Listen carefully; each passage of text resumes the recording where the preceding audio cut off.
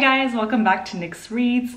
Please feel free to subscribe to this channel if you enjoy bookish content like I do and give this video a like if you enjoy book hauls. I certainly do. I just cannot stay away from Book Outlet for long. I absolutely love shopping on that site because you get so many great books for a third or even less of the price. I also have three bonus books to show you guys because these weren't part of the actual book outlet order. I got them from somewhere else but I will include them in this video because they're new. So the first one is Coraline by Neil Gaiman. I got this from Book Depository. The reason I got this is because I recently filmed a favorite books video and I mentioned this. So I noticed that I actually haven't reread this book in a while. I don't even have a copy here with me. This is a fantastic, eerie, spooky middle grade story about Coraline who moves into a new apartment building with her parents. She's an only child. She feels a bit neglected, a bit bored, so she goes exploring. And during that time, she finds a tiny door and she opens that door. And when she goes through, she finds a much better world than hers with a different mom. So it's her mom, but she has buttons for eyes. She learns a few lessons along the way. It's a great story. I recommend it to anyone. Then I got Dune by Frank Herbert from Indigo just because I really couldn't find this in a used bookstore or on book outlet. This is part of my summer TBR, which is why I got it. I'm not going to attempt to give you guys a cohesive summary of the plot because I really couldn't, even if I already watched the first movie. I'm just hoping to myself that this is going to be a new sci-fi series that I will love. And then I discovered a little free library setup in my neighborhood. It's like the kind of box where you can leave a book and take a book. I left the notebook from Nicholas Sparks. I featured it in my unhaul video. And then I picked up this, The Five People You Meet in Heaven by Mitch Albom. I just recognized the title. It is beloved, so that's why I picked it up, even though it is usually not something that I would read. Moving on to my actual book outlet order. I was good though because I only checked out the items that were actually already on my TBR. I attempted to group them together by genre. So I'm gonna start with a chick lit or rom-com book. It's Love Your Life by Sophie Kinsella. I was looking online for some kind of romance or rom-com book set in Amalfi in Italy because that is where I'll be traveling this summer. So I just kind of really wanted to get in the mood. Sophie Kinsella is just really good in writing rom-com chick lit, if you want to call it that, for when you need something a bit easy and breezy, you know, not too thrilling, but just something that will make you feel warm and fuzzy inside. This is about Ava. She goes on, I think it's writer's retreat on the Amalfi Coast where she meets a certain someone. Then they go back to London. It turns out to be a bit more complicated than just a summer romance, so along those lines. Moving on to the cozy mystery genre, which is something new for me. I started reading this year. I picked up Homicide and Halo by Pia, no, sorry, Mia P. Manansala.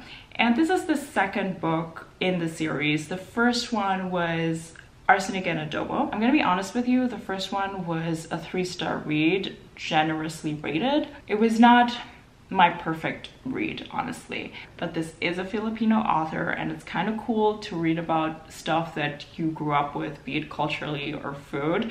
So I do want to give this author a second chance. So what happens in the first book is Lila's family runs a little restaurant. Her ex-boyfriend, who is also like a, a food critic, goes to the restaurant and is suddenly killed by maybe their food. Lila has to do some amateur sleuthing to figure out what happened and to save her family business. I want to go into this book blindly, but I guess there's going to be a second murder. Next, I have Finlay Donovan is Killing It by Elle Cosimano. This book has been making its rounds on booktube and as I mentioned, cozy mystery is usually not my thing. So what actually sold me is that uh, Kayla, Books and Lala, she said that this is for fans of Sophie Kinsella. So I was sold. Finlay is a struggling single mom of two. She meets up with her literary agent in a restaurant or in a cafe and starts talking about a murder plot that she's writing. Someone overhears them and think that she's a hitman for hire. They approach her and she I guess because she's in difficult financial circumstances, agrees and chaos ensues from there. Because of that amateur element, it also reminds me a bit of Only Murders in the Building, which I am enjoying. Moving on to a bit more serious murder. This is Flowers Over the Inferno by Ilaria Tuti. Why I picked this up is because of Storygraph. I picked up one book that was recommended to me on the app, which was the Inheritance of Orquídea Divina, which I ended up loving. If you watch my channel, you know that. So this random recommendation that I've never heard of and I've never heard of the author, this caught my eye. I read the plot and I was intrigued. So I decided to put it on my TBR and I was actually surprised that it was on Book Outlet because this is translated work. Um, the author is Italian. The reason I picked this up is because one of the reviews said that they loved the superintendent because it's a very unusual setup. So it's a woman in her mid 60s who's investigating. There was a gruesome murder on the Italian mountainside where a man was found with his eyes gouged out and Teresa investigates. Next, I have my first Kazuo Ishiguro. It's Never Let Me Go, as it says on the top, Nobel Prize winner, so I hope it's good. This is part of my summer TBR as well, and I'm guessing that I will like this book. It's kind of like a five or at least four star prediction for me, so that's why I decided to buy it opposed to just getting it from the library. I know what this is about because I read the plot summary of the movie with, I think it's Keira Knightley, but I don't want to give anything away, so all I'm saying is this is about a group of kids who grow up in a boarding school and they later on figure out that it was not a normal boarding school. This is supposed to be completely devastating and it has a sci-fi element to it. I think I will like this one and I'm just really excited to read the first book from this author because he is really well loved. Next is Ariadne by Jennifer Saint. The reason I picked this up is because I saw someone recommend this for people who loved Madeline Miller, in my case, Achilles. I do have Circe, but I haven't read that yet. I was just interested in picking another Greek mythology retelling kind of story. And not gonna lie, instant regret that I didn't get this as a hardcover. It was also available in that version because this is a beautiful cover. I guess this is the story of Ariadne, Princess of Crete. I will go into this blindly and hope to be positively surprised. Then I really wanted to pick up one of the books that was nominated for the Women's Prize for Fiction this year, and I settled on The Sentence by Louise Erdrich. This did not win the prize, it was Ruth Ozeki.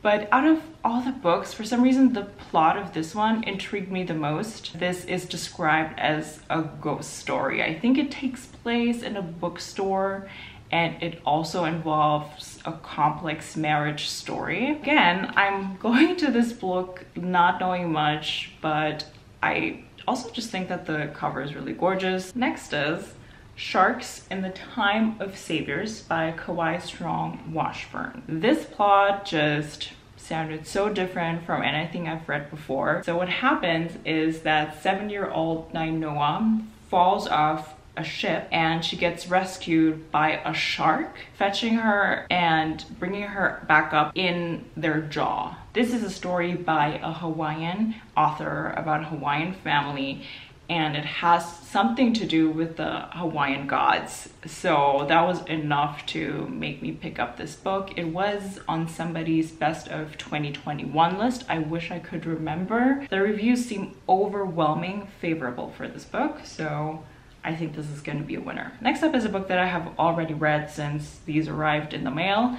It's A Certain Slant of Light by Laura Whitcomb. This is a very angsty ghost love story and I'm kind of scared of how much I enjoy this. Our main character, Helen, is a ghost who has been roaming the earth for over 150 years. Nobody sees her because she is a ghost until one day she is going around school grounds. One of the students actually looks at her. From there on out, an impossible love story unfolds. And that is all I say about this book. It is kind of crazy. More to come in my July wrap up. Next up is Pet by Akwaeke Emezi.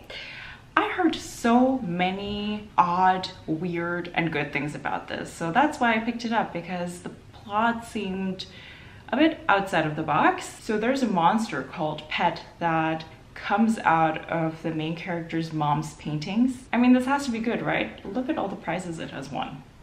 Next is a book that also has been going around and I've heard so many great things about this. It's Piranesi by Susanna Clarke. Everybody who reviews this book is super vague about it and I think that's part of the magic that the protagonist doesn't know what's going on, so the reader doesn't know what's going on. It has something to do, I think, with the labyrinth, with a maze. That is all I know. I don't know if this is actually fantasy or it kind of looks like Greek retelling too, or if it's all some kind of metaphor we'll figure it out but i really really hope this is going to be a fantasy book that i will enjoy a lot. Next is a book that has been on my tbr along with a certain slant of light for years. That is one of the reasons why i picked these two up because i was just like you know what? Let's get these off the tbr let's just finally figure out if these are good or not it's The Disappearances by Emily Bain Murphy. This takes place in a town where every seven years something disappears and it can be anything. It says that it can be scents, reflections, the stars in the sky, even the ability to dream. I hope our main character figures out what is happening and why this is happening. And lastly, I picked up Legendborn by Tracy Deonn. So excited for this one. I was let down by a lot of adult fantasy books this year already, so I'm going back to YA because this is most likely going to be so easy to read, super fast paced, and I'm just hoping to be engrossed in this story. I vaguely know that this is about our main character, Bree, who loses her mom and she goes to, I think, university where then she meets a group of scholars that are kind of connected to some secret order that has to do with Merlin. Bree discovers some interesting new magical facts about herself. This has to do with her heritage, with her family. I think this is going to be an awesome read and I can't wait to dig in. So these were all the books I got for this summer haul. Please leave me a comment if you have read any of the books that I have showed and tell me how you liked them and let me know which one you think I should start. Thank you so much for watching. Leave this video a like if you enjoyed this haul and please feel free to subscribe if you enjoy bookish content. I'll see you guys next time.